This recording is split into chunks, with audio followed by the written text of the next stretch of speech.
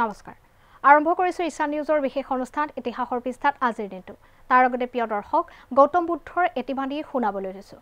তুমি অসংখ্য ভাল কিতাপ পঢ়িব পাৰিবা অসংখ্য ভাল শব্দও শিকিব পাৰিবা। কিন্তু এই সকলোবোৰ তেতিয়ালৈকে একো অৰ্থ নাথাকে যেতিয়ালৈকে তুমি নিজৰ জীৱনত ইয়াৰ প্ৰয়োগ নকৰিবা। অসম জ্ঞানপীঠ বঁটা বিজয়ী সাহিত্যিক মামণি ৰয়ছম গোস্বামীয়ে শেষ নিশ্বাস ত্যাগ কৰে দুহেজাৰ এঘাৰ চনৰ আজিৰ দিনটোতেই। বিশিষ্ট শিল্পী ফাংচেং বং বৰগোহাঁইৰ মৃত্যু হয় দুহেজাৰ দুই চনৰ আজিৰ দিনটোত। ঊনৈছশ দহত ট্ৰেফিকক লাইটৰ পেটেণ্ট কৰা হয়।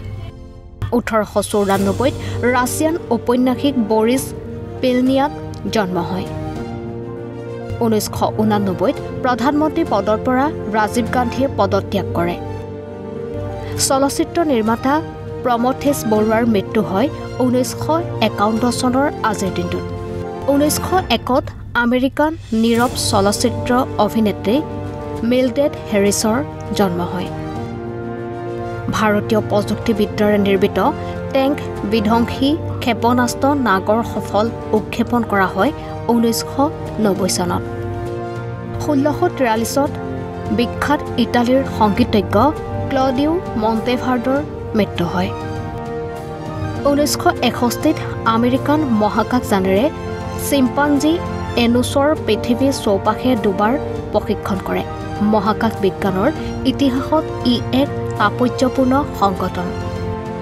ওঠৰশ আঠসত্তৰত পৰ্তুগীজ স্নায়ু বিশেষজ্ঞ গেছ মোনেছৰ জন্ম হয়। ঊনৈছশ অষ্টাশীত বাংলাদেশত হোৱা প্ৰচণ্ড ঘূৰ্ণী বতাহত বহুতো লোক নিহত হোৱাৰ লগতে বহুতৰে ঘৰ দুৱাৰ ধ্বংস হয়। ঊনৈছশ চৌবিছত ইটালীৰ সংগীত ৰচয়িতা গিয়াকমো পুচিলুৰ মৃত্যু হয়। জাৰ্মানীৰ লগত ৰাছিয়াৰ শান্তি আলোচনা আৰম্ভ হয় ঊনৈছশ সোতৰ চনত। আন্তৰ্জাতিক ৰাজনীতিত নতুন পাক আৰম্ভ হয়। ওঠৰশ সাতান্নব্বৈত ইংলেণ্ডৰ চাৰিত প্ৰথমে মটৰচাইকেল দৌৰ অনুষ্ঠিত হয়। ঊনৈছশ ঊনপঞ্চাছত ৰাজলেখক কেদাৰনাথ বেনাৰ্জীৰ মৃত্যু হয়। ঊনৈছশ তেৰত মাৰ্চেল টিটুৰ নেতৃত্বত জুগোশ্লিভিয়াত ফেচিভাত বিৰোধী মৰ্চা গঠন কৰা হয়।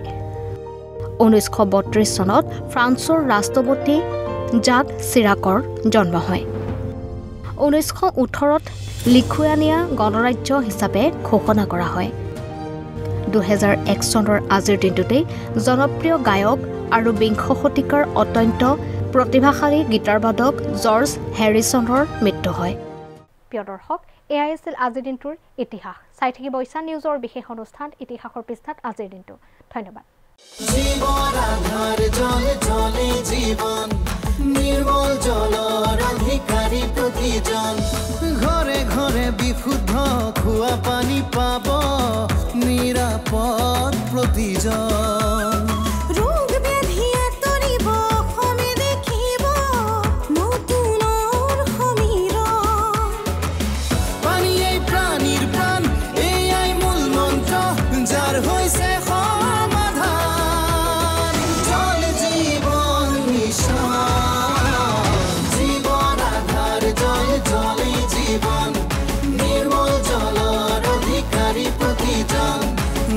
ঘৰে সুখৰ আগমন।